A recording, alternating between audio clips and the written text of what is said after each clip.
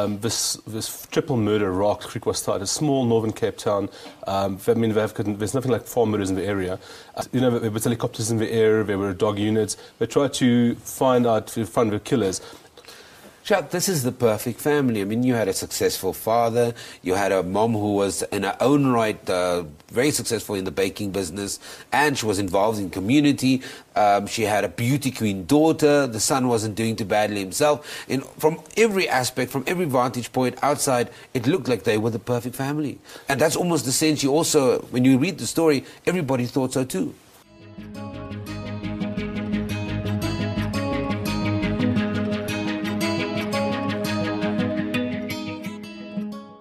Welcome to True Crime South Africa. I'm your host, Nicole Engelbrecht, and this is episode 6 The Griekwastad Murders. Before we get into the case, I'd like to briefly chat about a podcast I came across that I think may be beneficial to some of our listeners.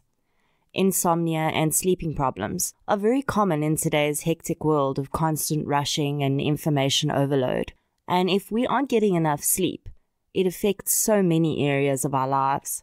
Before turning to chemical sleep aids, it's always best to try alternative methods first. Sleepy Time Tales podcast is a sleep aid podcast, which I highly recommend. Here's Dave from Sleepy Time Tales podcast to tell you about his show. Good evening, friends. Do you find your mind plagued with the stresses of modern life, especially when the lights are out and you're trying to get a restful night? Do you find your mind spinning and churning while you're trying to get to sleep? Maybe I can help. Listen to Sleepy Time Tales, a sleep podcast aimed at helping you to get a restful night. Find it at sleepytimetales.net or search for it wherever you listen to your podcasts. I'm a huge believer in helping others grow and be successful.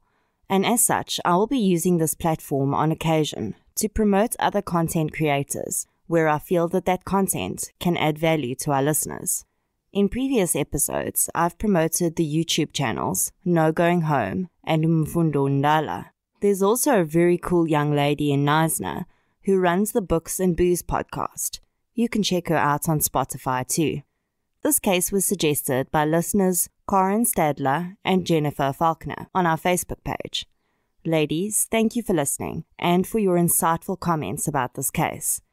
If you'd like to suggest a case for us to cover, please head over to our Facebook page where there's a pinned post for case suggestions. You're also welcome to contact me on Twitter and Instagram. In researching this case, I used two main resources. The first is a podcast called Profiler Africa, who did an episode on this case in which they interviewed Gerard Labuschagne and Bronwyn Stolarz, both of whom worked in the investigative psychology unit at SAPS around the time that this case was at trial. I highly recommend the Profiler Africa series and will post a link to their podcast in the show notes. The other main resource I used was a book by veteran journalist Jacques Steenkamp, no relation, called The Griekwastad Murders. I also highly recommend this book for a serious deep dive into this case Jacques covered this case from beginning to end, and he was in the courtroom for almost every word of the trial. I've included quite a bit of information about the case here, but Jacques' book really delves into the minutiae of the evidence, and it is fascinating. I will also leave a link to purchase that book in the show notes. Jacques Steenkamp was approached to write the screenplay for a movie about this tragedy, which is currently filming in Hopefield, Western Cape and will be released later this year.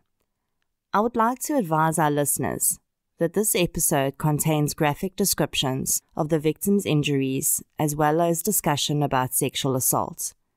If you are triggered by either of these topics, please keep that in mind before listening to this episode. Let's get into it.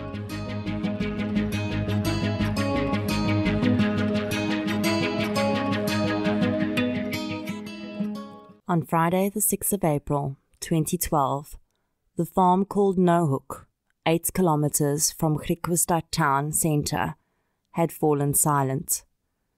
The chatter of the family that lived there had ceased.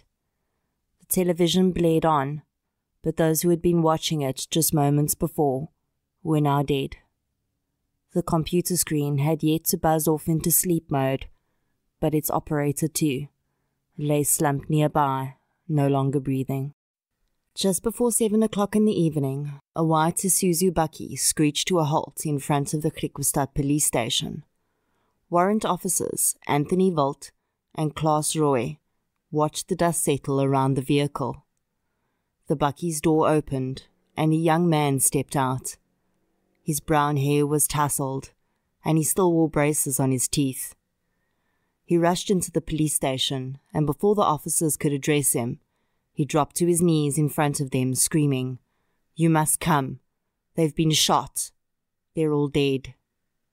The boy was 15 year old Don Steenkamp, and he was referring to his mother, father, and sister. Warrant Officer Roy helped the boy to his feet, and that was when he noticed the blood. The boy was drenched in it. His t shirt, hands, and legs caked red.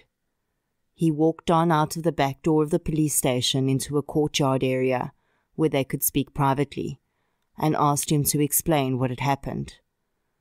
The boy said that his family had been watching television and he had gone into the barn to fix a light. He had heard gunshots and hid in the barn, and then, when the gunshots stopped, he ran inside and found his family dead. The two officers were almost frozen in shock. They had known the Steenkamp family, as everyone knows everyone in Griekwastad. Their tiny town did not see horrendous murders of this nature. Their region had barely been touched by the national scourge of farm murders, but this boy was telling them that all that had just changed in one fleeting moment, and Griekwastad would never be the same. Volt quickly snapped himself out of his shock, realizing that he needed to alert his superiors. He made several calls, including one to the local detective unit. Within minutes, the station was crawling with police officers. They needed to get to Naauwhoek as quickly as possible to secure the scene and ensure all the victims were indeed deceased. In their haste to mobilize to the farm, their primary witness was left to his own devices, in the care of the two warrant officers. Don Steenkamp had wanted to accompany the officers to the farm, but he was instructed to stay behind. The head of the Northern Cape Organised Crime Unit arrived at Griekwastad Police Station shortly after the police contingent had left. Colonel Dick de Waal was off duty that night, but his wife, who held the rank of general in the SAPS, was the one who received the call from the Griekwastad police station. The officer who was on duty that weekend could not be reached, so de Waal had taken the case. In my opinion, this was a stroke of luck, because de Waal is a highly respected police officer with 30 years' service under his belt. Considering the complexity which would soon become evident in this case, it may have played out very differently had a less experienced detective been assigned to the case. De Waal is also extremely knowledgeable about the Northern Cape region, the crimes that tend to take place there, and how these crimes usually present themselves. This experience would also prove vital. When de Waal arrived, he was advised that Don Steenkamp had been taken across the road to Griekwastad's only restaurant, Proviand, so that community members could comfort him and provide him with food and drink. He asked the warrant officers whether they had taken a statement or collected any physical evidence from the boy. Roy described the huge amount of blood that had caked on Steenkamp's hands, shirt, and legs, but said that they had not been instructed to collect any evidence, nor take photographs. De Waal went over to the restaurant and was met with a wall of Steenkamp's extended family members, who did not want to see Don further traumatized by immediately being questioned by police. It took some convincing, but the family members eventually agreed that Don could accompany de Waal across the road to the police station. When the boy stood up, de Waal immediately realized that he had at some point cleaned himself up. There were still traces of blood, but the caking of blood which the officers had mentioned was gone. It would later emerge that the warrant officers had seen Don washing his hands and legs, but had not wanted to upset him any further by asking him to stop. At this time, of course, Don was an innocent victim of a horrific tragedy, not a suspect. De Waal had physical evidence collected from Don, including swabs of the traces of blood that remained on his skin and scrapings from underneath his fingernails. A scratch mark on his neck was photographed. The shirt he had been wearing when he arrived at the police station was found in a bush outside. De Waal asked Don why he'd been in such a hurry to clean up. He stated that his sister had died in his arms and her blood had been all over him. In his own words, he described being disgusted by this and anxious to get the blood off. De Waal had sent Don home with his father's cousin that night and asked him to meet at the police station the next day for a full statement. He then drove the eight kilometers to Naauwhoek to attend the scene.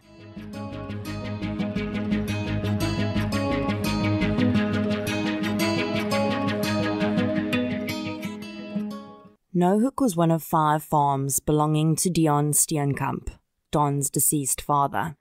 Deon had been born on the farm, and on that night, the family land had seen his passing there too. The Steenkamps predominantly farmed sheep, although they also kept a few head of cattle and some horses, the latter of which were for recreation purposes. The Steenkamps lived in the main house on the property. There was a barn nearby, and on the outskirts of the farm, close to the road. The farm labourers had their own houses. The first officer on the scene that night, Detective King, was head of detectives for the region. He had entered the property to check on the victims, and once he had ascertained that they were indeed deceased, he had cleared the house for any intruders and waited outside for forensic analysts to arrive. The community of Griekwastad along with most farming communities, are extremely safety conscious. In the last decade or so in South Africa, farmers and people living in remote areas have become targets for vicious, opportunistic robberies, which often end in murder. The remoteness of the properties makes it easy for perpetrators to commit these crimes without being caught, and although motives vary, from simple robbery to revenge attacks by ex workers, all attacks of this kind have now become synonymous with the label of farm murders or farm attacks. As a result, farmers have mobilized security forces, often made up of volunteers from their own communities, a kind of highly militant neighborhood watch. Although Griekwastad had yet to experience any such attacks, their community had educated themselves and prepared for such an eventuality. Deon Steenkamp's neighbor, Joe Skoltz, was tasked with representing the community at crime scenes, and when he received the phone call to inform him of the murders of three of his neighbors and friends, the Steenkamps, he immediately got into his bakkie and drove the few kilometers that separated his farm and Naauwhoek. Skoltz would later describe arriving at the scene and finding three young policemen who had been tasked with securing the scene. Skoltz was well known to the local police through his work in community policing, and when he asked if he could go inside to check for survivors, the officers agreed and said they would accompany him. Skoltz had been friends with the Steenkamps for most of his life and had seen Marthella and Don grow up. It must have been this closeness that made the discoveries Skoltz made in the house that night all the more difficult to stomach. Skoltz walked through the kitchen and into the dining room, and immediately saw all three bodies laying in close proximity. Deon and Christel were laying on their stomachs. Both had a significant amount of blood covering their bodies and obvious bullet wounds to their upper bodies. Deon was wearing blue rugby shorts and a navy blue shirt with the words South Africa printed on the back. A green jacket lay near his head. There were two clearly visible small caliber bullet wounds to the back of his head. Marthella had also been shot, but Skoltz noticed that her face was bloodied, bruised, and swollen. She was dressed in a green shirt and shorts, and her body faced her mother. It would later be reported that Marthella's face was so badly beaten that it was no longer recognizable as that of a human being. When Colonel de Waal searched the crime scene later that night, he uncovered a t shirt in Don's bedroom. It was underneath a towel and covered in blood. The neck of the shirt had been torn. This t shirt would become a pivotal piece of evidence in the case. Joe Skoltz had studied farm murders and viewed countless videos and photographs of farm murder crime scenes. Looking at the scene at Naauwhoek, it did not feel like a farm attack. The Steenkamp's four dogs were all running around the scene. In most farm attacks, the dogs will be poisoned first. The safe stood open, with numerous firearms in plain view, which had been left behind. There was no sign of a break in either. It didn't feel right. Something very bad happened at Naauwhoek that night, and it went far deeper than a farm attack.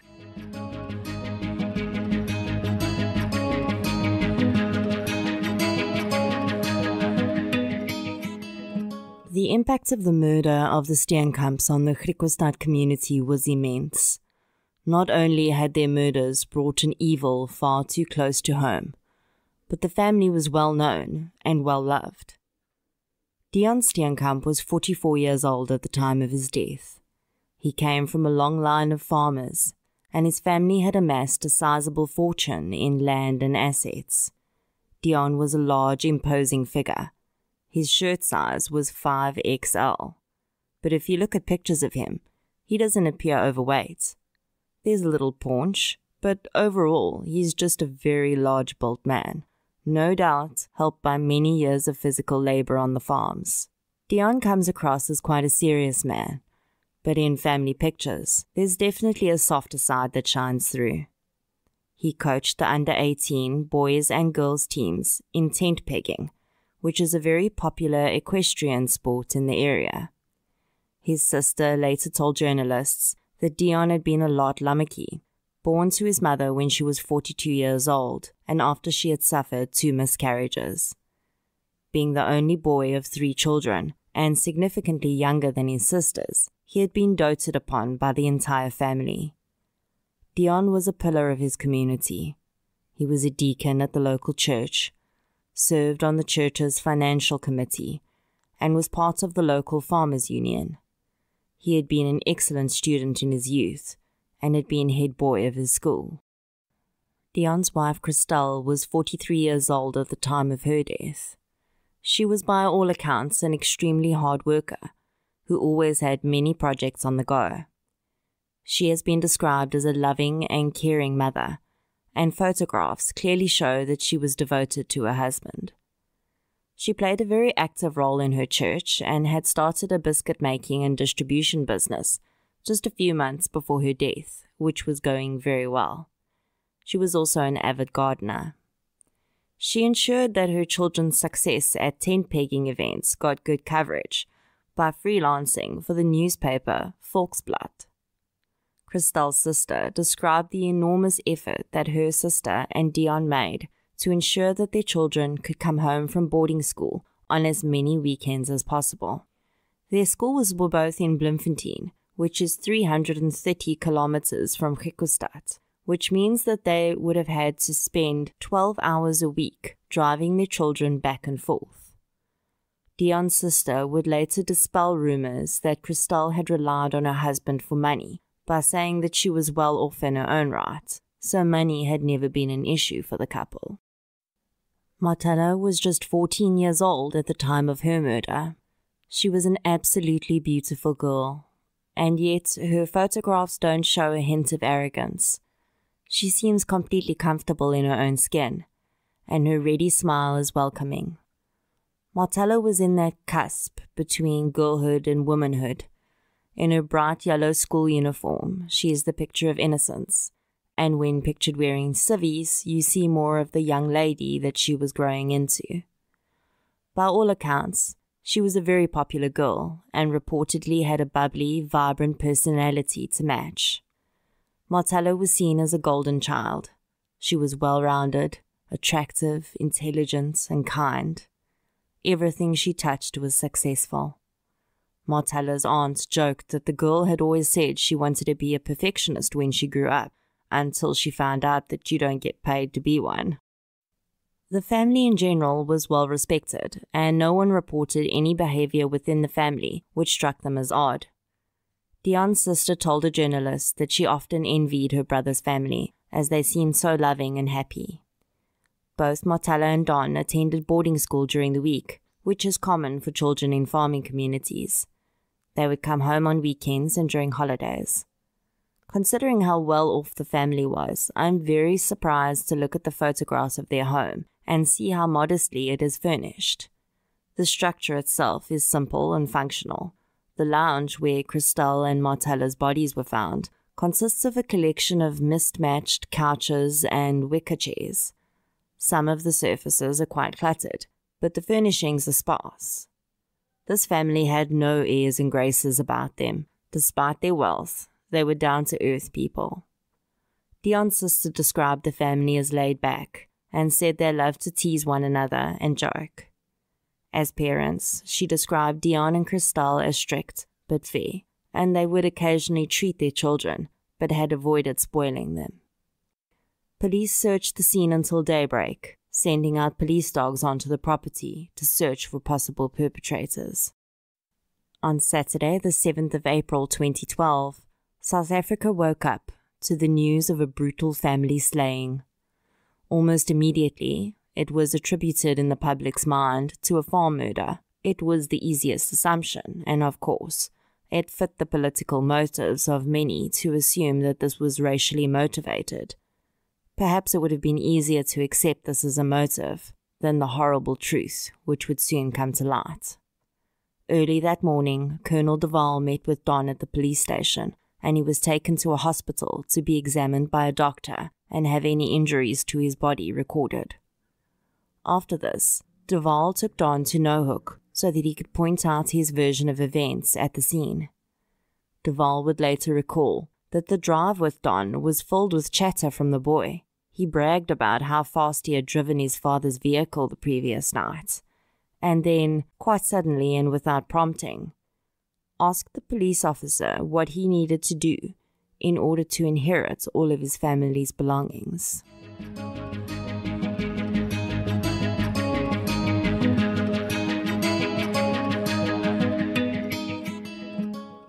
Don's extended family very quickly appointed a lawyer to care for the boy's legal needs. In his parents' will, they had named a retired school principal and neighbor, Paul Buerta, to become their children's guardian in the event of their deaths. Don Steenkamp did not spend a single night in Buerta's care. He declined to act as Don's guardian, saying that due to the nature of the circumstances, he felt that he would be doing his own family a disservice by bringing the child into his home. Don's tent pegging coach, Benny Hekruit, would eventually take over guardianship of the minor, although the arrangement was always found to be strange by those who knew Deon, as they were well aware that he and Hekruit had not been close at all while he was alive. A police spokesperson gave a statement to the press in which they stated that they were not looking for any suspects at the time. They were analyzing the evidence at the scene and witness statements. This announcement created a frenzy among the media and public alike, as suddenly there was a possibility that the so called farm murder was not a farm murder at all. Unsubstantiated rumors began doing the rounds that Deon had killed his wife and daughter before turning the gun on himself. There was even speculation that Marthella had been involved in satanic activities and that that had been the reason for the murders, given that the incident occurred over Easter weekend, which is said to be particularly important period for satanic sacrifices. Of course, these speculations were all made without any of the evidence having come to light. Journalists became extremely frustrated in this case as almost every piece of evidence or move the police made was closely guarded. On the Saturday afternoon following the murders, the community of Griekwastad gathered at Naauwhoek to help clean and clear the Steenkamp residence. The police had finalized their collection of evidence from the scene and gave permission to friends and family to enter and clean the house. Joe Skoltz found the green jacket that had been near Deon's body still in the house the police had reportedly seen no reason to collect it as evidence, and Scald had proceeded to burn it. The autopsies were performed on the victims during the week after their murders. The following information is difficult to listen to.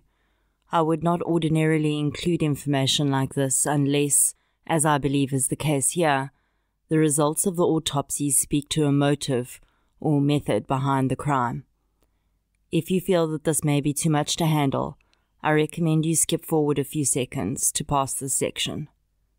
The state pathologist determined that all three victims had been shot with both the 22 caliber rifle and the .357 Magnum revolver. Deon had received three bullet wounds, one in his right shoulder, another in the back of his head, and one behind his ear. He also had severe blunt force injuries to his head.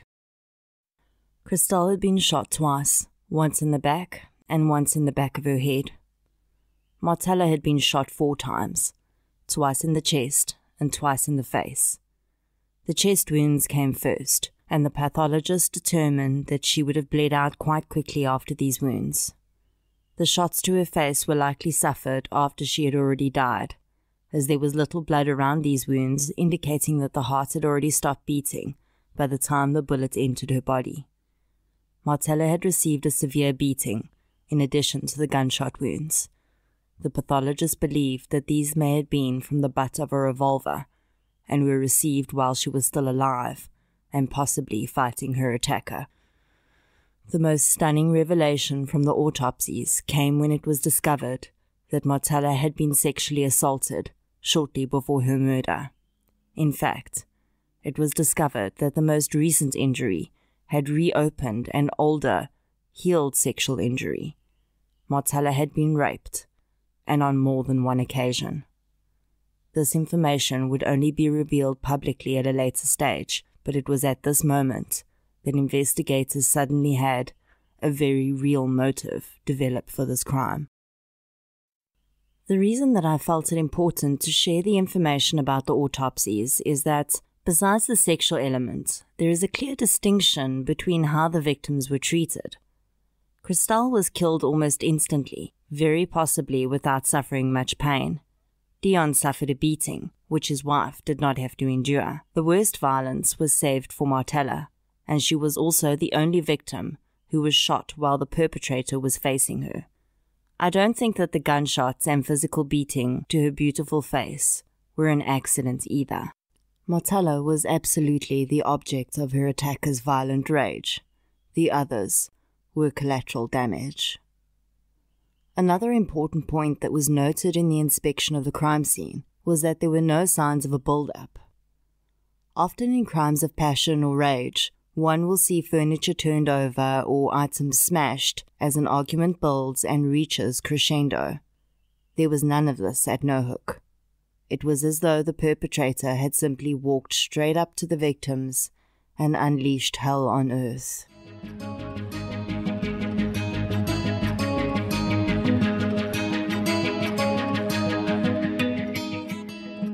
With the autopsies complete, the Steenkamps could be laid to rest, and their grieving families could have a moment to say their goodbyes. The memorial service was hugely attended, and in a sweet story of the power of friendship, a busload of school friends from Marthella's school in Bloemfontein made the 350 kilometer journey to attend her memorial. At the time, there were protests on one of the roads they needed to take, and the road had been closed. Don's schoolmates, who were travelling the same road, turned around and went back to Bloemfontein, but not Marthella's friends. The busload of girls and female teachers simply found a different, albeit longer, route and continued to Griekwastad. Ten kilometres before their destination, their bus blew a tyre, and they had to hitch a ride on a cattle truck to church. Nothing was going to stop them from honouring their beautiful, kind friend because no doubt she would have done the same for them. I've seen pictures of these schoolgirls at the Steenkamps memorial service, and there isn't a word in the English language to describe the expression on their faces. Devastation just isn't descriptive enough. The only way I can describe it is I think that that is what the death of innocence looks like. These young girls, most in their early teens, had not just lost a friend, they had the idea that childhood is fun and innocent and carefree, ripped away from them. Their friend hadn't died in a car accident or of an illness, which would have been tragic enough. She had been brutalized and most likely died with the most intense fear any human could imagine.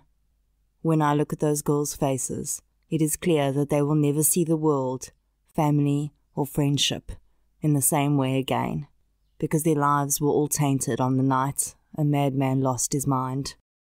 I watched a brief snippet of the memorial service that I found on YouTube. The footage shows Don Steenkamp, flanked by both pairs of grandparents. His face is a little red, perhaps from crying. At one point during the sermon, he seems to succumb to a sudden, deep, sobbing cry, but it lasts only seconds. He makes a bobbing motion with his head as his hand presses on the bridge of his nose, and his face crumples slightly. In this moment, his grandfather looks at him and then looks away, shaking his head. He then bites his lip to stop the tears that are already flowing down his face. I don't know what that head shake meant. Perhaps it was a subconscious denial of the terrible situation this young man found himself in. Or perhaps it was an expression of disbelief. I cannot speak for the man, but I can say that there was one very big difference between Don and his grandfather in that moment, and that difference was tears. Despite his best attempts not to cry, Don's grandfather did. But Don's cheeks were dry. His face was crumpled, and he made all the right sounds. But I didn't personally see a single tear in that video.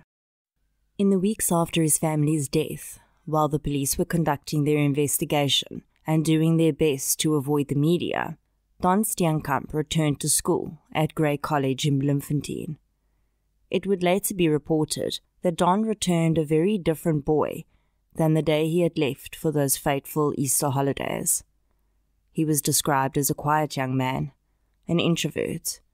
He had a few close friends, but he was far from the social butterfly his sister was, and he hadn't had much luck with the girls either. Teachers reported meeting a new Don on his return, though. Suddenly, he was loud and brash, almost arrogant, and very close to impossible to control in class. He was the object of attention for the first time, and he was lapping it up. Girls were swarming around him, and he was almost unrecognizable from the boy he had been before the death of his family members. Teachers had been prepared to have to protect him and nurture him, even take it easy on him if he struggled to cope. But they had been completely unprepared for the bragging, brash Don Steenkamp that stood before them. Despite family members telling him that he didn't need to attend, Don insisted on competing in a tent pegging competition shortly after the murders. He also insisted on riding his sister's horse in the competition, and journalists reported that he happily posed for photographs. Don Steenkamp had continued to live with Benny Heckroodt, despite his family saying that he was most welcome to stay with them. His answer described his decision to live with Heckroodt as one he seemed to think was his to make. He hadn't discussed it with them and had simply packed his belongings and left with the man. As the investigation progressed, though, and the harsh reality started to be revealed, they were glad for the distance. It would have been unbearable to have to deal with a child living in the same house as them when the story began to unravel. Police were in no rush to release any information to the public and kept insisting that they could not name any suspects, nor could they state what the motive for the crime could be. Journalists in the know, such as Jacques Steenkamp, knew differently though. Jacques had been close to the case since day one, and he had identified a suspect in his own mind but knew that police would not easily announce his identity. Official statements were that they were waiting for the outcome of forensic and ballistic tests before they drew any final conclusions. And so, Griekwastad was left to wait, as was the rest of South Africa, for an answer to the riddle who killed the Steenkamps? Of course, many fingers were already pointing at the sole survivor of the massacre. Rumours abounded that Don was adopted and that he had found out on the night of the murders.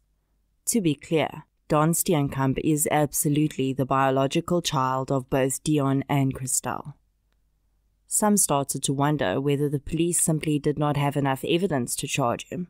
After all, he'd been allowed to wash himself, which destroyed not only blood evidence, but also gunshot residue. The parents of Don's schoolmates were less than impressed that their children were sharing a dormitory with a boy who had yet to be exonerated by police for the murder of three of his family members. Grey College received so many complaints from parents that they eventually had to ask Don to leave or risk losing half their students. Benny Heckroodt and Don's relations had responded strongly to this request, insisting that they could not treat Don like a convicted murderer when he wasn't even officially a suspect.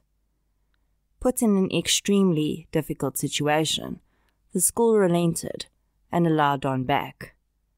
I tend to think that no one had bothered to ask Don what he wanted when this happened, as he had reportedly told several people that he didn't want to attend Grey College anymore, as his schoolmates had been teasing and bullying him and spreading vicious rumors about him. In reality, I think Don had just realized that he was about to become a very rich 15 year old boy that owned five farms, and there was really no need for him to continue his education.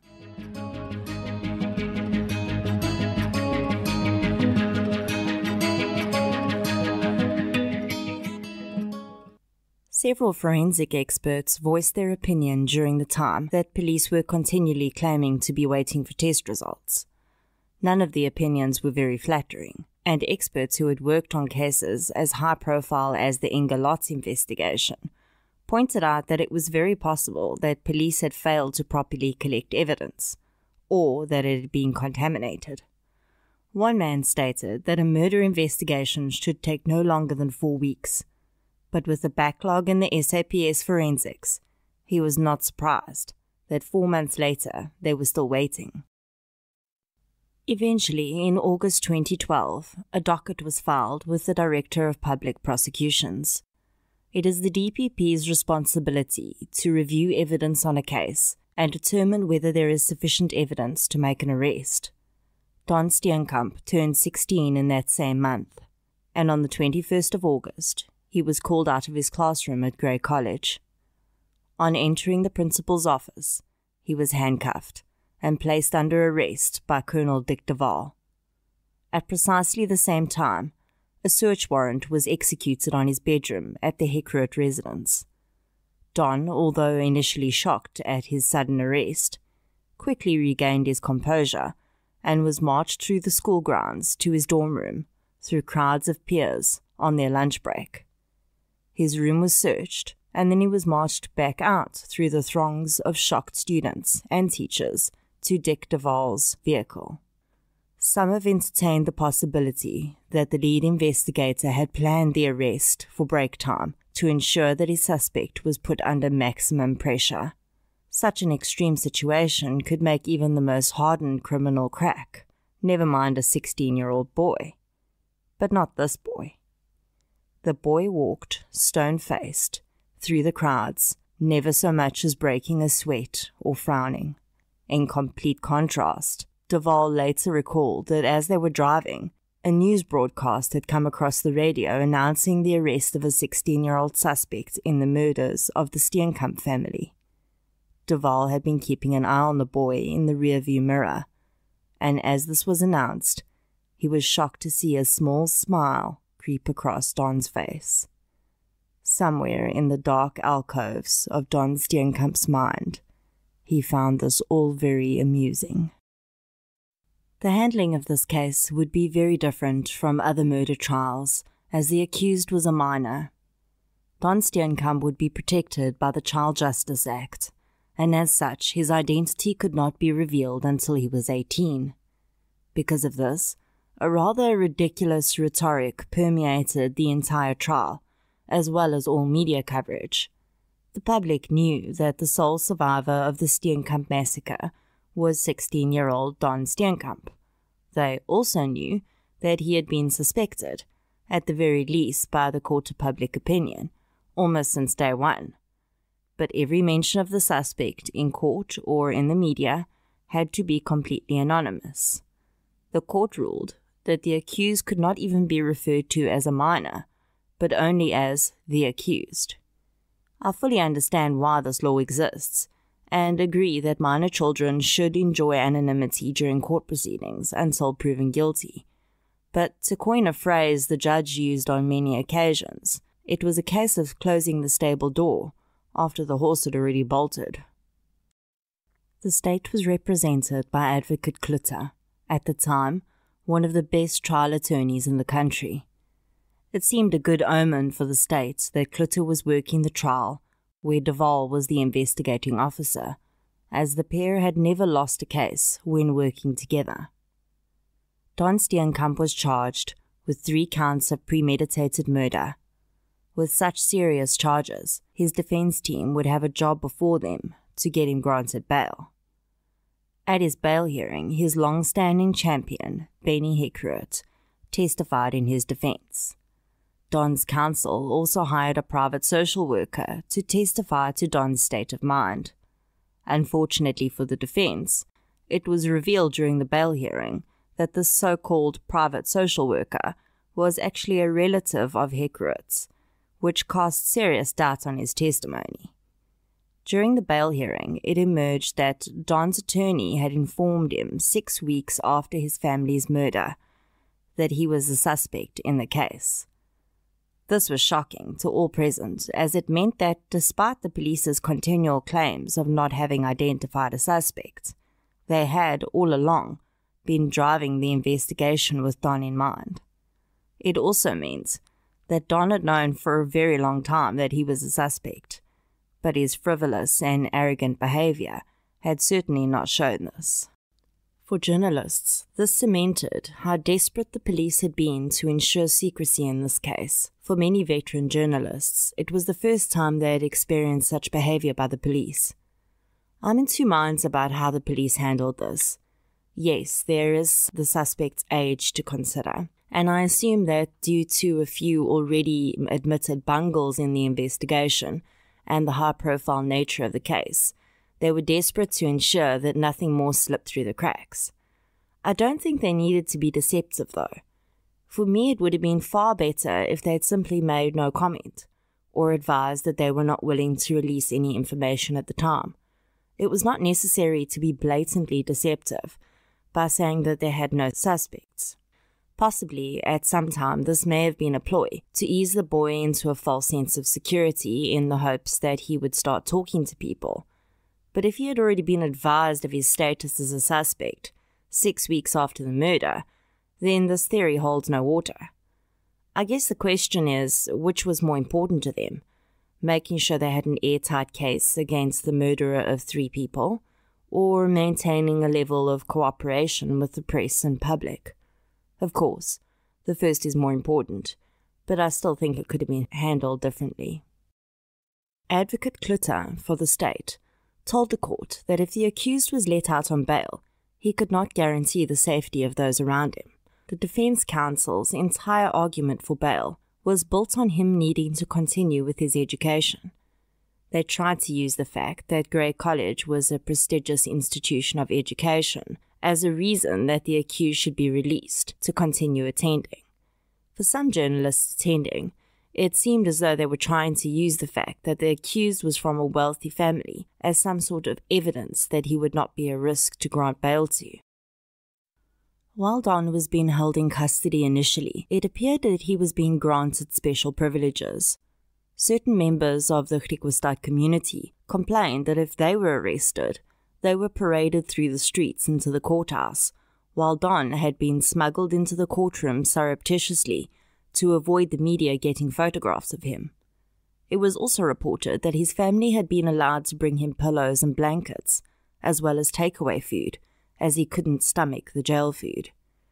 The bail hearing was widely covered, as it would be the first time that the state would reveal any of its evidence against the accused.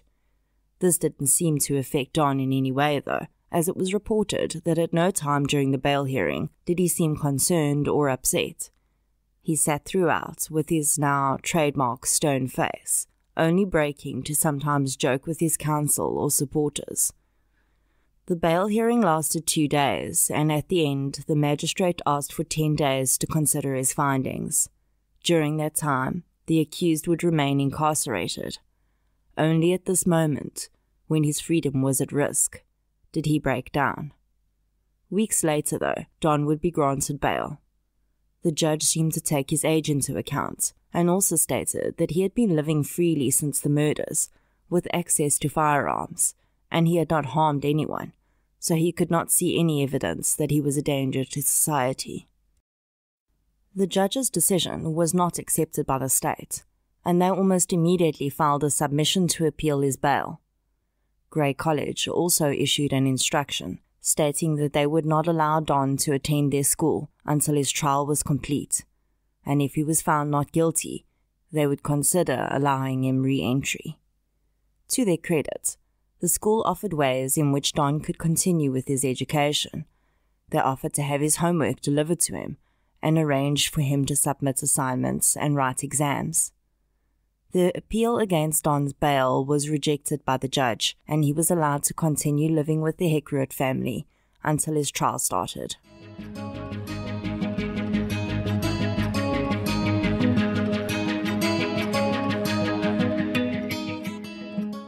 On the 11th of December 2012, Marthella would have turned 15. Had she been alive, she would have joined her brother in competing in a Gymkhana event, which was held that weekend. Instead, she was remembered with a minute's silence, and her team wore green ribbons on their uniforms in remembrance.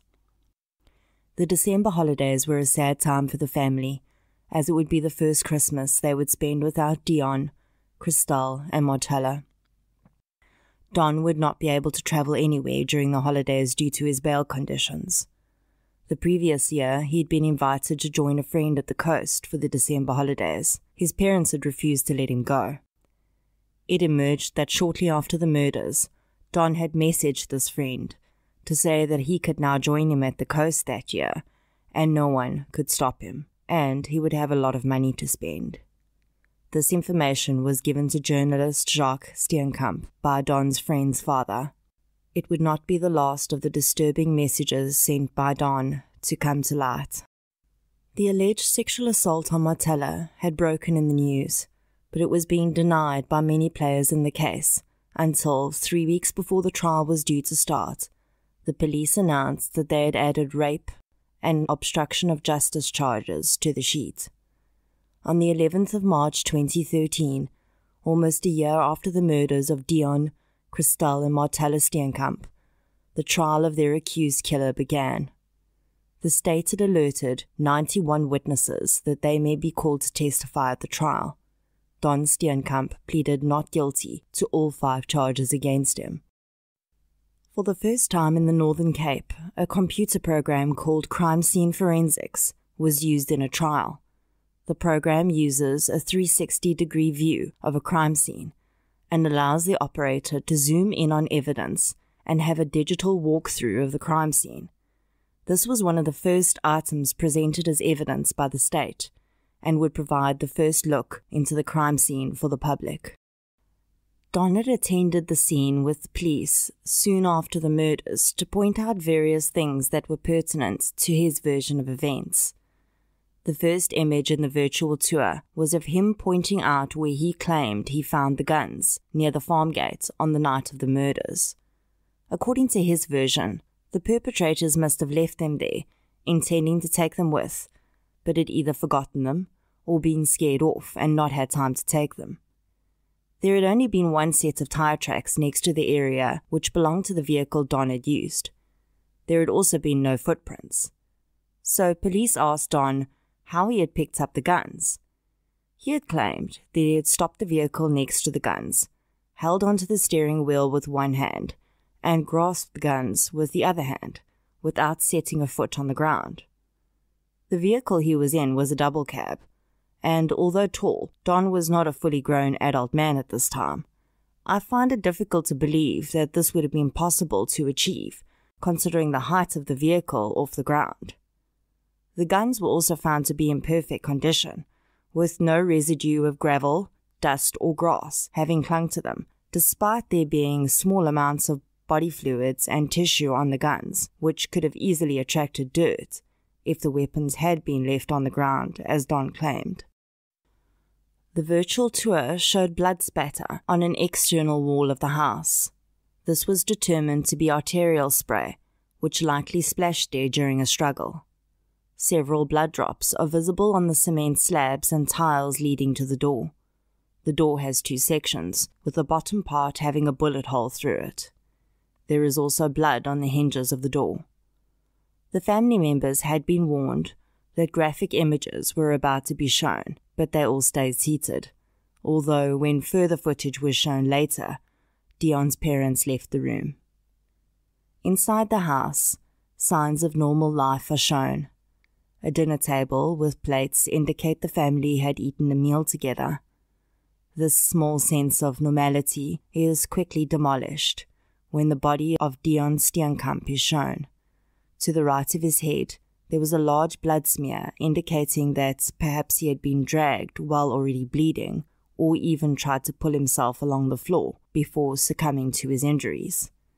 The gunshots to Deon's head had very little blood around them indicating that he had been initially shot, fallen, possibly tried to drag himself, but died, and then, after he was already dead, he was shot in the head.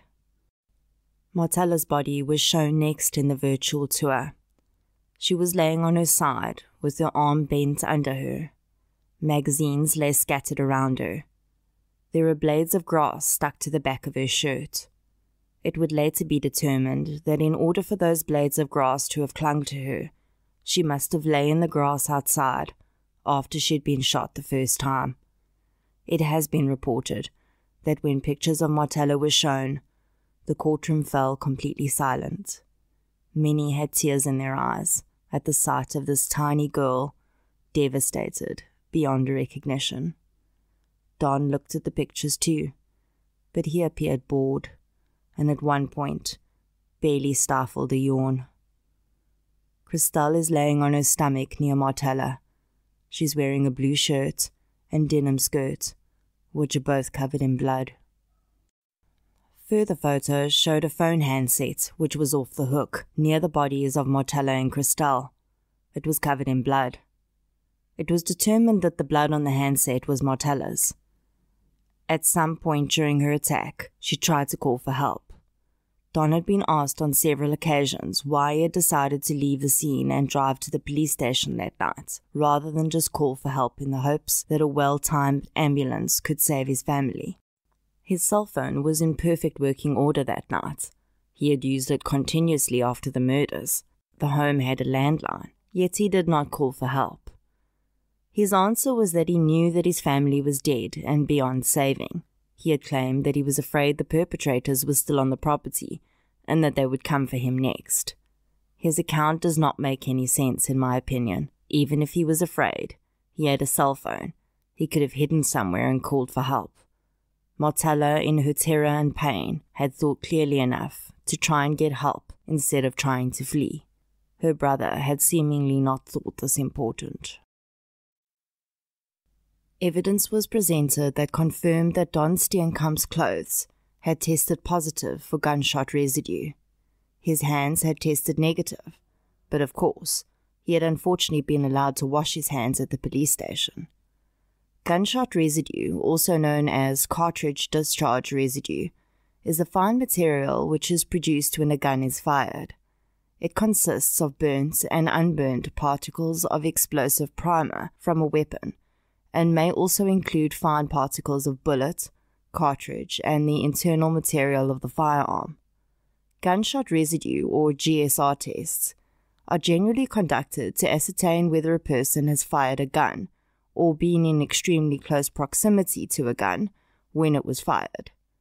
The positive testing for GSR on Don's clothing meant that he had either fired a gun within the prior six to eight hours or he had been in an area where a gun had been fired within seconds of the discharge.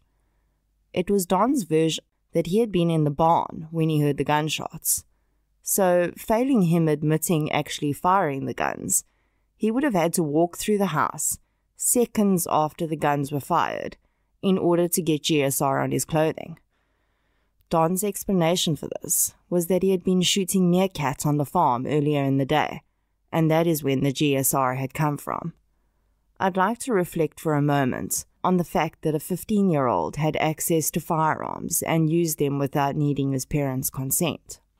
This may seem strange to those of us who grew up in the city or suburbs without regular access to outdoor activities. For a family who had been multi generational farmers, this was not strange in the slightest. In farming communities, children are taught to handle firearms from the moment they are strong enough to hold them. Boys, in particular, will be taught to use a firearm at a very early age and join their fathers in hunting activities before they are teenagers. It was well known that although the Steenkamps were safety conscious in terms of keeping doors locked, their safe, which held their guns, almost always stood open, and many family members confirmed that it would not have been strange for Don to take a gun and go out shooting on the property without needing to ask anyone. The victims' hands were tested for GSR, and it was found that none of them had fired a gun that day.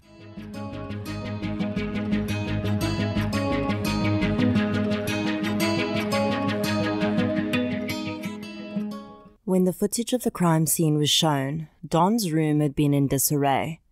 His cupboard doors stood open, and several t shirts lay on the floor. The torn shirt that de Waal had recovered from Don's bedroom was identified by Don as having been the shirt he was wearing when he discovered his family shot. In his version, he said that he'd been wearing the shirt when he knelt beside a dying Marthella. He claimed that he had held her, and she had told him that she loved him and that she was dying.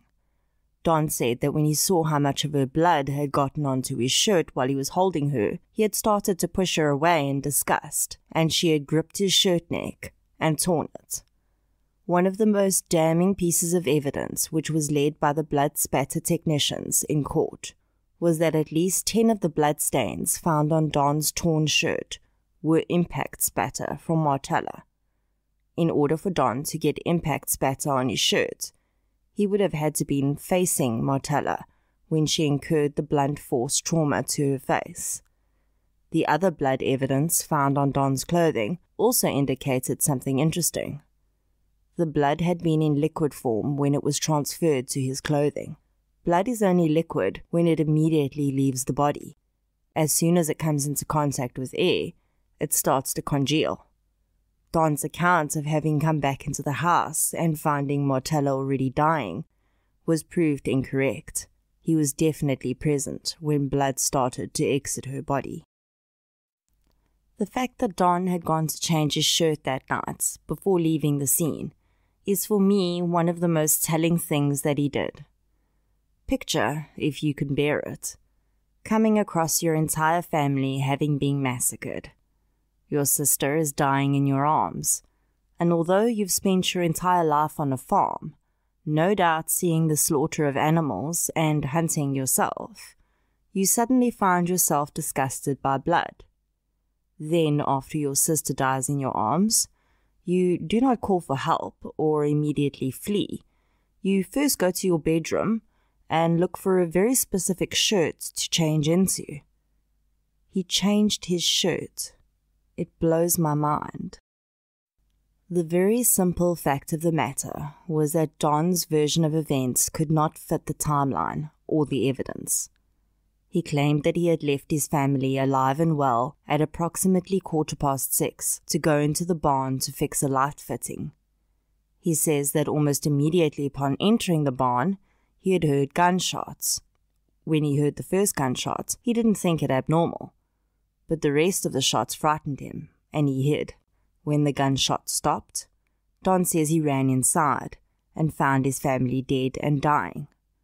Marthella had died in his arms and he had left the premises in the vehicle, stopping to advise the farm workers that they should leave the farm and to pick up the firearms at the gate. Don would continually adjust his version to meet the new evidence that was raised. When he was asked why he only heard one round of gunshots when the perpetrator had shot the victim with different firearms, he changed his story and said he had forgotten that he had ran inside and then ran back out to the barn, then heard more gunshots, then ran back into the house for a second time, and on this occasion, Marthella had died in his arms. The reason that it was impossible for Don's version of events to fit the timeline is that, although he hadn't known it at the time, his mother sent a text message to her sister at 1834. Don arrived at the police station at 1857. This allowed 23 minutes for his version of events to occur, including at least 10 minutes to travel into town.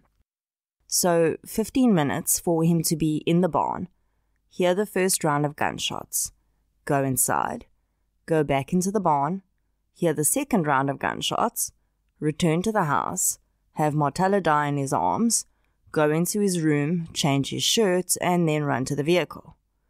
He then still had to drive to the gate, shout to the farm workers to warn them, pick up the guns, and drive to town. It was pretty much impossible. Even the state's version of events would barely fit the timeline. But if one considered that the acts had been premeditated and planned, it was far more likely to be achieved in just over 20 minutes. The state proved that Marthella had been shot in the chest inside the house and escaped outside, where she had collapsed on the grass. Her attacker had followed her, and a struggle had ensued on the grass, where it is presumed that Marthella incurred the devastating blunt force injuries to her face. A large pool of blood was found on the grass outside, indicating the place where the fight took place. This area was in direct view of the window of the barn where Don claimed he had been hiding. In fact, he said that it, he had been hiding behind a workbench where he would have had direct sight of the attack on his sister, yet he claimed to have seen nothing. The blood spatter evidence showed that Marthella had made it back into the house, whether by her own volition or being dragged there, we don't know. Another terribly sad revelation was that, at some stage after she was initially injured, Marthella had gone to check on her parents. Her blood was found dripped onto their bodies, as though she had stood over them. In her last moments, this young girl's thoughts were for the well being of her parents. I cannot, and honestly don't want to, imagine what must have been going through her mind when she realized they were both dead. In stark contrast, and in another very telling act, Don admitted that he did not at any time check on either of his parents. He didn't feel for a pulse, touch their bodies, or even call their names. When asked why he hadn't done so, he stated that he could see that they were dead, so there was no point. Don's torn shirt is still a question to this day. An exact replica was brought into the court, and several witnesses were even asked to see if they could tear it. Grown men struggled. This brought into question how Don could have claimed that Marthella had torn it in her dying moments. If she tore it at all, it would have had to been very shortly after the attack started, when she was still filled with adrenaline and fighting for her life. Certainly not after she had lost copious amounts of blood. It is interesting to me that despite receiving serious chest wounds, Marthella was able to move around and fight back so ferociously when her parents succumbed to their injuries very quickly. There are numerous accounts across the world of children surviving plane crashes, earthquakes, and car accidents when all the adults involved have died. A few articles I read put this down to children being more physically fit to begin with. They are also smaller, so blood loss may not impact them as quickly as it would an adult. Their hearts are stronger and therefore able to beat longer and withstand more than an adult heart. I think that this, combined with the release of adrenaline, could also be an explanation for how Marthella managed to tear a shirt that a grown man struggled to replicate under normal conditions.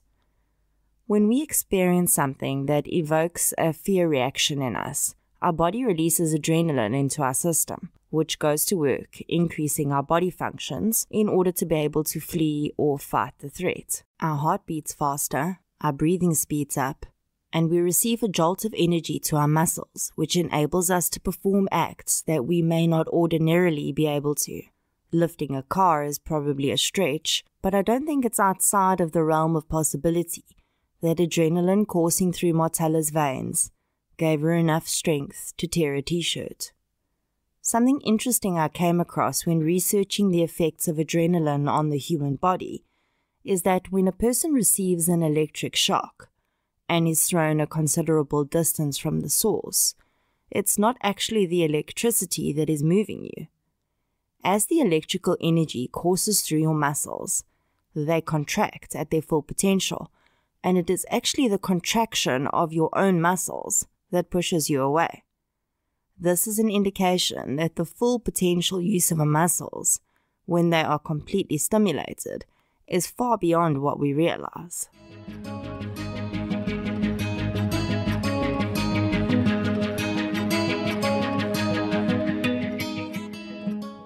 As witnesses were called to testify, a picture was painted of Don in the days immediately preceding and after the murders. Joe Scholz, the neighbor who had been the first person from the community to arrive on the scene, testified that Don had told him a few days before his parents' murders that he didn't want to attend Grey College anymore. The boy said that the only reason he had to go there was because it suited his mother's image in the community, and he would much rather go to a local school where he could spend more time farming with his father. Scholz told Don that he should be grateful that his parents could afford to send him to such a prestigious school. Henriette Tritter, who managed a Proviant restaurant across from the police station and took Don over to comfort him that night, was also called to testify. Tritter stated that one thing that stood out for her was that she had seen grown men sob uncontrollably that night when they had discovered what had happened to their friends but Don had only shed a tear or two and did not seem very upset at all. Tritter also stated that as soon as she had seated Don in the restaurant, he had whipped his cell phone out of his pocket and started messaging and phoning people. He had asked Tritter whether she thought that he should let all of his friends know or just his best friends. This was an hour after his entire family was slaughtered. Tritter said that she had been completely taken aback and told the boy that it wasn't necessary for anyone outside the family to know at that moment. She stated that she did not know what to say to comfort him, so at one point, she had told him that there was always the hope that perhaps someone had survived and they should wait to hear from the police. He looked up at her and said in a monotone, No, Tannie, they're all definitely dead before looking back down at his cell phone. Tritter, amongst others, had mentioned that Don was talking loudly that night, which she put down to his distress. When reporter Jacques Steenkamp tweeted this piece of information, he received a reply saying that when you fire a 357 Magnum revolver in an enclosed space, the sound is deafening and can result in the shooter talking louder than normal. I did a bit of research into this and came up with a term called shooter's ear. It is actually a very real phenomenon which occurs with the use of certain firearms in an enclosed area. This is why people wear hearing protection at shooting ranges. According to a website on audiology, I found one shot from a 357 revolver exposes the shooter to 165 decibels of sound, which is equivalent to a Boeing 727 taking off next to your head. Don's activity on his cell phone was key in the trial, with him having sent messages to a friend just a few hours after the murders, saying that he was a suspect. Don was not a suspect at all at this time, as most people still believed it was a farm attack. His friend replied asking why the police suspected him, and Don said it was because his DNA and fingerprints were on the scene. He further advised his friend that they weren't going to find any other DNA or fingerprints there, only his. How could a 15 year old Don possibly know that the police's investigation would not bring up any other suspects beside him before the investigation had even begun? The only way he would know is that if he knew no one else had been there that night, it had just been Don and his three victims. A cell phone analyst also testified that he had analyzed cell phone activity on all of the cell phones that had been present at Naauwhoek that day.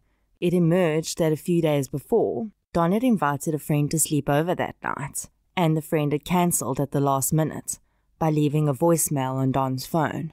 He tried several times to reach the friend's phone that night, shortly before the murders. If that friend had come to visit that evening, would the murder still have occurred? Were the several phone calls to the friend Don's way of making sure that he had understood correctly that he wasn't coming to ensure he wasn't surprised in the middle of the attack? Unfortunately, despite sending Marthella's cell phone to the manufacturer, police had been unable to access her data due to a password protection. Considering the allegations of sexual abuse, I wonder what may have been found on Marthella's cell phone. As the various witnesses testified, it also began to emerge that Donna told many different stories to many different people. All these stories contained small but critical changes, most especially in the reason he claims to have gone to the barn that night. He had mentioned to one witness that he had heard Marthella screaming inside the house. This is a pretty huge thing to have forgotten to include in his official statement. In the continuing theme of Don remembering information to explain new questions or evidence, he had decided a few days after the murder that there had been a bank bag of cash inside the safe, and that must have been what the robbers stole. There was an empty bank bag found just outside the safe. But when Don explained where this was usually stored in relation to the guns in the safe, De Waal had realized that in order for this to be true, the thieves would have had to unpack the entire safe, retrieve the money bag, then repack the safe as neatly as it was found. It would also make no sense to leave the money bag behind and remove the cash.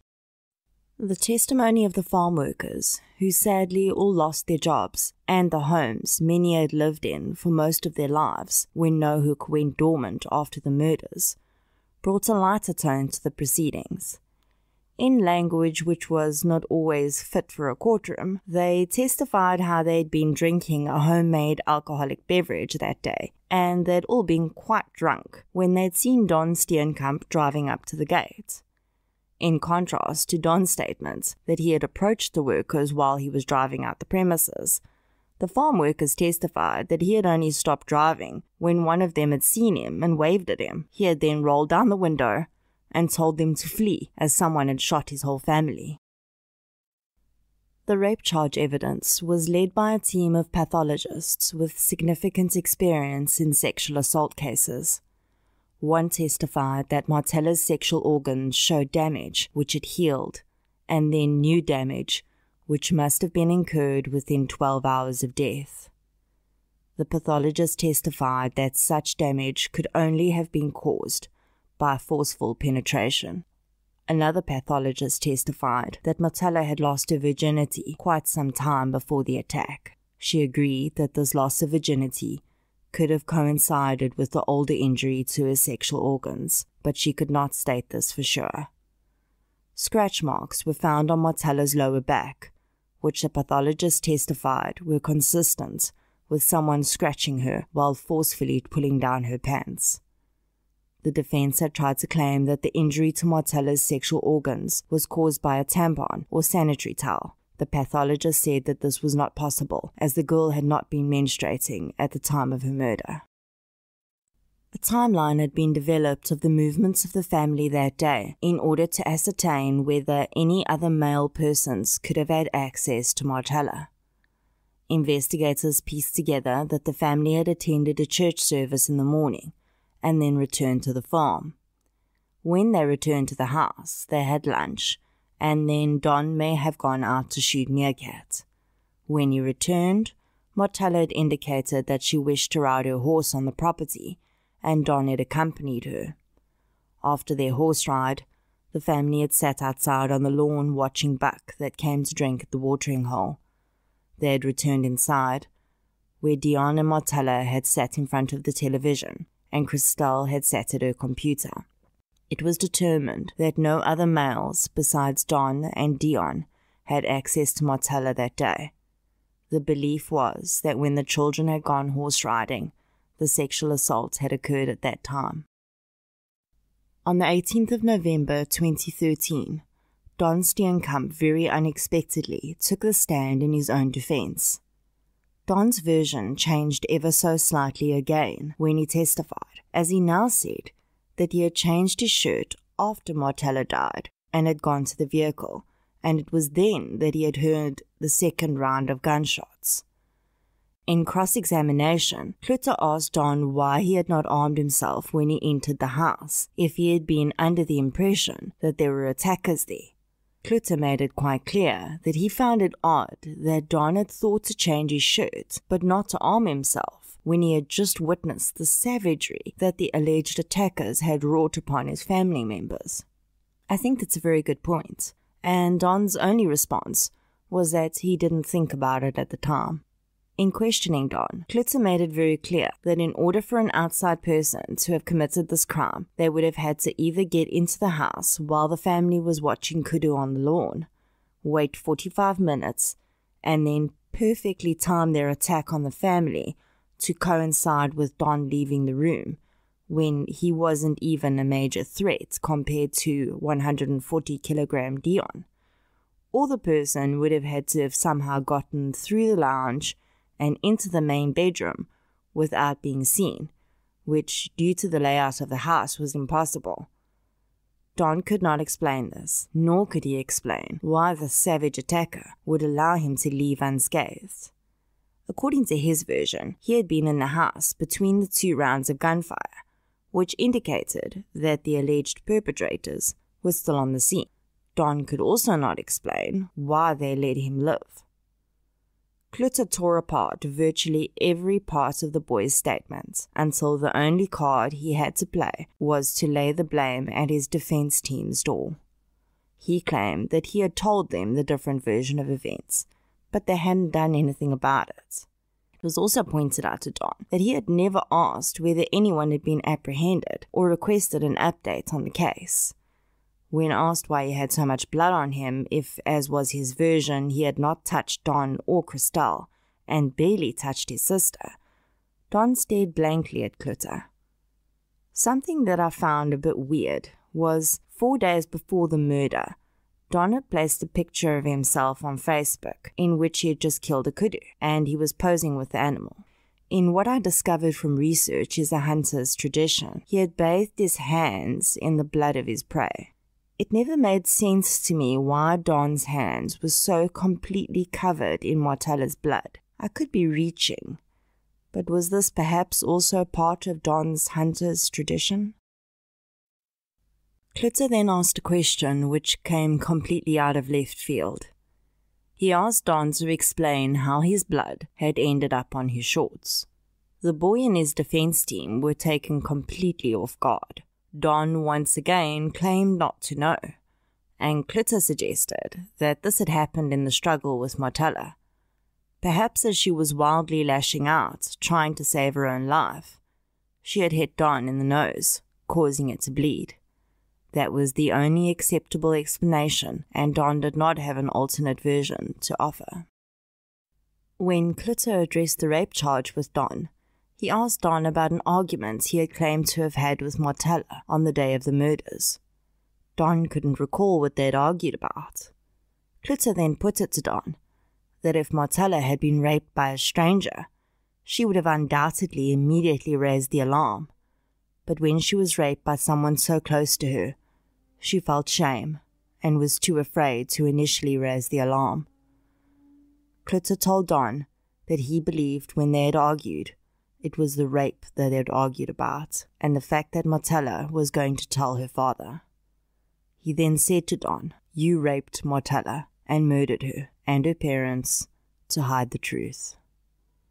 Don sat silently, glaring at Clitter. He did not answer. I don't know about you, but if someone accused me of not just incest, but forced sexual assault and three murders, I would have something to say about that. I would deny it until my last breath. I most definitely would not sit there in silence. Don's entire testimony oozed with arrogance and nonchalance. He clearly detested Clitter and showed it. When the boy wasn't changing his story, he was saying that he didn't know or he didn't remember. When the defense team made its closing argument, two absolutely shocking claims were made. The defense attorney implied that it was possible that Deon had raped his daughter, and it was also possible that the sexual act had been consensual between Don and Marthella. It was completely baseless claim, and there was no evidence to back it up. The judge had severely reprimanded the defense team for even raising such a weak point, and they responded by saying they were instructed to do so by their client. The next day, Don Steenkamp fired his entire legal team. Throughout the trial, there had been rumors that the family felt that the defense team was overcharging in order to milk the trust fund that was paying for Don's defense. I have no doubt that Don really did instruct his lawyers to make the wild claim about his father, but nevertheless, they were fired for it. The trial was postponed while Don's new legal team familiarized themselves with the case.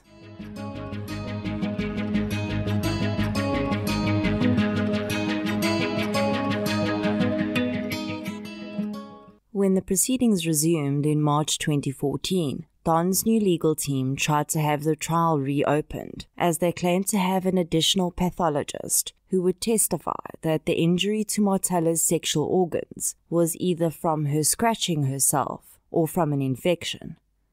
The state quickly blew this out the water by showing that Marthella's nails were extremely short, and it would have been impossible for her to inflict such an injury on herself and that the autopsy showed no signs of infection in her sexual organs.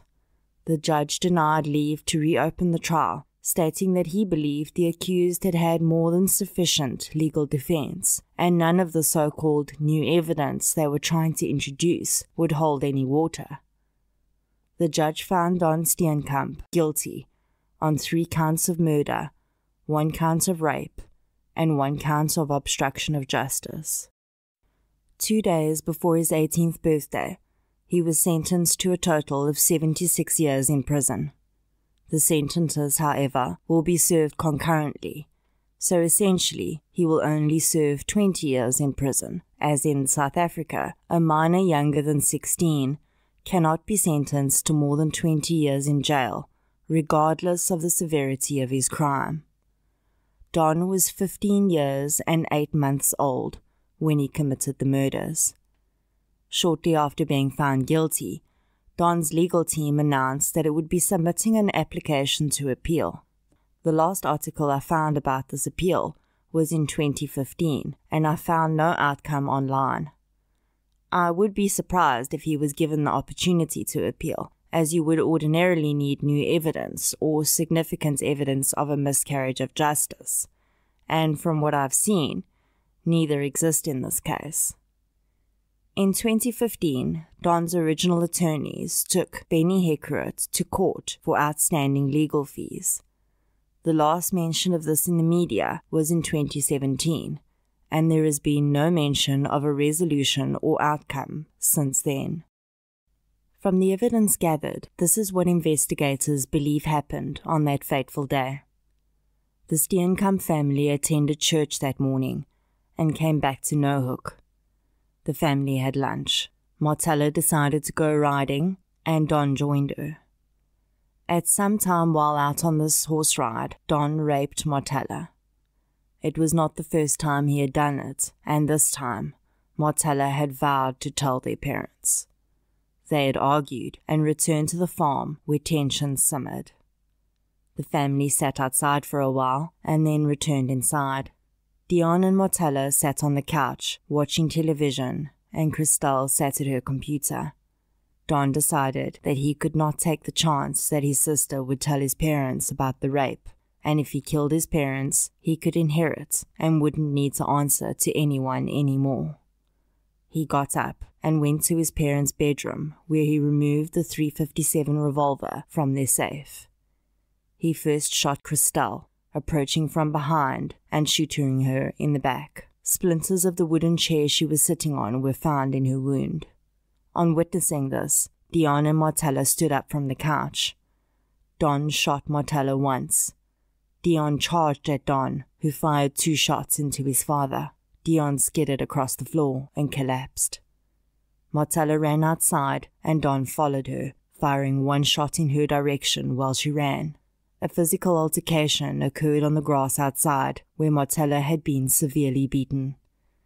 He left her outside and returned inside to beat his father over the head with a gun.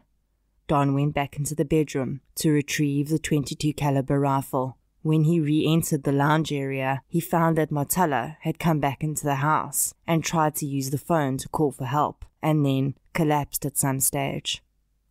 Don then fired a shot from the rifle into the head of each of his victims. He changed his shirt and fled the scene in the bakkie. The Griekwastad murders rocked South Africa. Not only had a family been killed by one of its own, but the perpetrator was a minor, and the added rape of his own sister blows the mind even further. A familicide of this nature is what is called a black swan event. The phrase dates back to a time when people believed black swans either didn't exist or were extremely rare. Bronwyn Stolar stated in the Profiler Africa episode that she had been told by an American colleague that she had consulted about this case that she would probably never see another one in her career. In fact, during her five years at SAPS, she worked on three such cases. Granted, it is far more common for the adult male of the family to be the perpetrator, but I can think of at least two other high profile cases in South Africa where a child was the perpetrator. Parricide is the killing of both parents, and there are usually three motives for parricides. Either the perpetrator is being abused and sees murder as the only way out. They may be mentally ill and believe that their parents are trying to kill them or the offender may exhibit an antisocial motive, where the killings of a personal gain, usually inheritance. In Don's case, I think the latter was a big part of the motive. He had on many occasions expressed the desire to stop attending school and start farming. He had often described how he would change the farms if he was in control, and that he wanted to invest in petrol stations his parents lived very modestly, despite their immense wealth, and I don't think that this fit in with what Don wanted. His immediate interest in how he could get his inheritance is further confirmation of this for me. Siblicide, the killing of a sibling, is extremely rare. So much so that I could find very little research on the topic. This instance of siblicide, however, I think has quite a complex motive in my opinion, Don was obsessed with Marthella. She was everyone's ideal of perfection, and everything he found it difficult to be. Rape is about power, not sex, and anyone who thinks that Don simply took advantage of Marthella's presence because he was a hormonal teenager is deluded. Don raped his sister because he wanted to control her and have power over her. There is another darker side to the sexual assault, though, I believe, one which even Don probably doesn't fully understand. In the pre sentencing hearing, Don described Marthella as the most beautiful girl he had ever known. He had even taken some of her possessions from her room to keep with him. To him, he may have thought that this was a way to explain that he would never hurt someone that was so precious to him. But to me, that statement tells us everything we need to know about his relationship with his sister. Marthella was the most beautiful girl he had ever known. Marthella was the most of everything. And in her shadow, Don, through his own delusions, felt smaller. By raping her, I wonder if Don felt that he wasn't somehow defiling her and making her less worthy of the immense love and admiration that people had for her. Marthella was not executed like her mother. She was tortured and brutally killed in a manner which would cause her the most pain. I also wonder whether the beating of Deon was because Don was afraid he would get up again, or was it really Don's way of exerting his dominance over his father, too? It can surely be no coincidence that the two people in his life, who he probably felt overshadowed by, received the most brutal deaths. Sexual assault is a horrifying thing to experience for anyone. But when it is at the hands of your big brother, the person who is supposed to protect and care for you, I think that it must be completely terrifying. We don't know when Marthella was raped for the first time by Don, but I tend to think that it was not long before the last attack. I cannot imagine what Marthella must have been going through during that time, and honestly, I'm not surprised that she had struggled to tell someone. Don may have well threatened her with violence before, but even if he hadn't, how do you, as a 14 year old girl, find the courage to tell someone that your own brother has been raping you? She may have been afraid of the ramifications of saying something. Would it tear her family apart? Perhaps she even wondered if people might think that she had done something to cause it. These are, unfortunately, the things that go through the mind of a rape survivor, and these are also the things that the perpetrator uses to ensure they keep their victim quiet. It is too late now for anyone to help Marthella, but I wish she had known that she did absolutely nothing wrong. Marthella, you did not ask for that to happen to you. You did nothing to deserve it. We believe you and we know now what he did. You were strong, beautiful, amazing young girl, loved by so many, and nothing would ever change that. As hard as he tried, he still has not sullied your memory. You fought him, and you may have physically lost, but thousands stood up for you to make sure that you eventually won the battle. If you are listening to this and you are in a situation like Marthella, please Google her picture and look at her. Does she look like someone who has anything to be ashamed of? No, she doesn't, and neither do you. Please tell someone before it's too late. I will leave the contact details for the 24 hour rape crisis hotline in the show notes.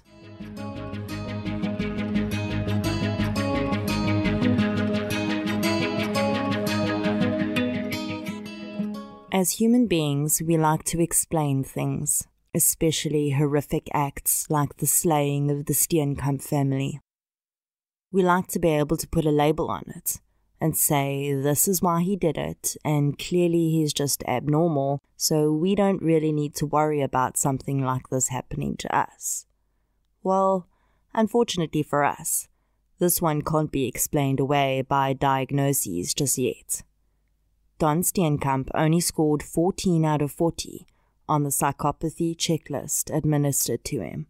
He was constantly described as emotionless during his trial. But as Jacques Steenkamp pointed out, he actually wasn't devoid of emotion. He just wasn't displaying the emotions we wanted him to. He was angry, he was irritated, he was bored, he was even happy. He just didn't display sadness or grief. Bronwyn Stolarz was asked to assess Don Steenkamp for the state in the pre-sentencing phase. She found him to be very manipulative in interviews. When she asked him a question, he would turn it back on her and say that she should tell him what he should answer. She described him as very calm and polite. This odd manner of turning the question back on Stolarz could be explained by the fact that Heckroodt and some of his other supporters had instructed him not to cooperate with psychologists in assessments. Indeed, his defense seemed so concerned that something may be revealed in these assessments that Don's appointed psychologist continually interrupted them. The fact that Don did not exhibit any diagnosable mental illnesses at the time of his trial was not strange, as he was a minor, he's still developing psychologically, and most serious mental illnesses will only be diagnosable in his early 20s. It is therefore imperative that he continues to be assessed and undergo full assessments before his release so that we can truly know what we are dealing with. Bronwyn Stolarz states that the problem with these types of juvenile offenders is that they are generally well behaved children anyway, so their conduct while incarcerated is not always a good indication of their suitability for release. Don's sexual offense is one of the most concerning, as it is very difficult to completely rehabilitate sexual offenders, and especially when one has committed the crime at such a young age. Stolarz found Don's sexual expression to be abnormal, as when his phone records were reviewed after his arrest, it was found that he had been viewing porn in the months after his family's murders. Of course, this in itself is not uncommon or abnormal, but Stolarz stated that usually one will see a decrease in sexual arousal during times of extreme stress, but Don did not seem to be affected in the same way. My heart goes out to Don's extended family, his aunts and grandparents on both sides, especially. I don't think it's possible to imagine being in such a situation. Three beloved members of your family have been slaughtered and one raped, and the offender is your own flesh and blood. It would be easy for us to say that we would cut all ties with such a person and refuse to support him in any way but I honestly think that situation is so complex, and those people would have been torn in so many different directions that they could only do what felt right at the time. On the one hand, this person is a murderer and rapist, but on the other hand, he's your nephew or grandchild. And what about what his parents would have wanted? There are very few parents that disown their children after they commit crimes and cut all ties with them. They are still your children after all. Perhaps Don's grandparents especially felt that, in a way, they would be honoring the memory of Deon and Christel by giving Don support where they could. There were two very clear camps around Don during the investigation and trial. One consisted of ardent supporters like Heckroodt and a few others who believe, even to this day, despite all the evidence, that Don is innocent. The other camp was mostly made up of his family, who did not want to see him come to harm and were willing to help him get the best defense he could, they didn't seem to believe he was innocent either. One of Deon's sisters spoke to a journalist about how she felt about Don and the crime. She described how shocked she'd been when she saw the photographs of the crime scene but Don had just sat there drinking his Coca Cola and looking at the photographs like they were family holiday snaps. She also pointed out that Don had taken the album of evidence photographs from his lawyer and paged through them too. There was absolutely no need for him to do that. Don's aunts also found it strange that he was able to go and eat lunch every single day after looking at gruesome photographs of his family having been slaughtered. The woman recalled Don once asking her if she had ever seen his parents cry, because he claimed that he had never seen his father cry, and he couldn't understand why everyone was making a big deal about him not crying. He was just doing what he thought was right. She told Don in no uncertain terms that his father had cried on many occasions, even when he was the same age as Don. She described that Don had always been her favorite, but now she felt like there was a massive divide between them. She said that she felt her nephew was now a stranger. Don's paternal grandfather passed away during his trial after suffering a stroke. He was 80 years old and had not been in very good health even before the murders of his son, daughter in law, and granddaughter. One thing that I must admit I found a bit odd was how the family handled the estate proceeds from Deon and Christel. The estate was worth 23 million rand and would automatically go to Don. However, due to him being on trial for his family's murders, Don would be unavailable to receive this inheritance. There is also a law in South Africa that states that the bloody hand cannot inherit. In other words, you cannot benefit from the estate of a person you are found guilty of killing. The Steenkamps found a legal route around this. The money from Deon and Christel's estates went to Deon's parents in the event of Don being unavailable to inherit. So Don's grandfather opened a trust and donated the inheritance into the trust. This then made the money a donation and not an inheritance. Don Steenkamp could get out of prison as early as 28 years old. When he does, he will legally have access to more than 23 million rand.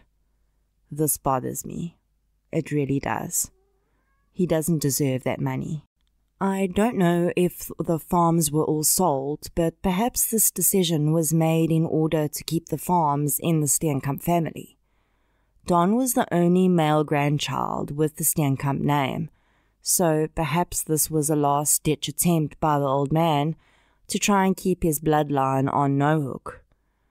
I know that this is a big thing for families in the farming community, so although I might not understand or agree with it, I respect that such things are important in traditional families like the Steenkamps. Don's paternal grandmother perhaps summed up the family's feelings best in a letter she wrote, which was read out at Don's sentencing hearing. The letter was titled, The Tears on My Own. The following is an excerpt from that letter. Quote, the sorrow of 6 April changed everything. How difficult it still is to talk about that day. The news of the death of my son, daughter in law, and granddaughter will always be the worst news I have ever heard. Our hearts are broken, and their places will forever remain empty. Taking into account all the evidence that I have heard this past week from various experts and other witnesses, I can't help but realize that the murders were committed by my beloved grandson, who surely must suffer from a highly negative character flaw. In Jacques Steenkamp's book, he ends with the following poignant words quote, The worst part is that Don Steenkamp, the Griekwastad murderer, will be eligible for parole after serving just 50% of his sentence, meaning that he could be released back into society before his 28th birthday. He will be free to walk straight into the nearest bank where his parents' multi million rand inheritance will be waiting for him. I am not sure if justice has really been done here. All I know is that I promised to hound him for the truth, because one day I want to hear him say the words, I killed my family. End quote.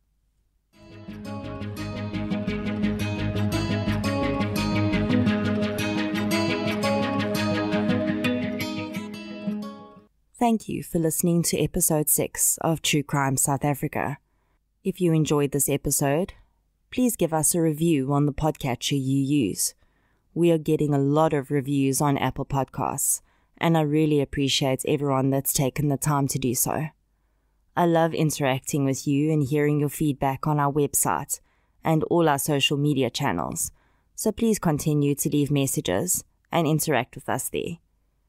Whenever I post a case episode, I upload the transcript to our website too and include photographs related to the case as well. So if you'd like to go through the info again, you can do that there.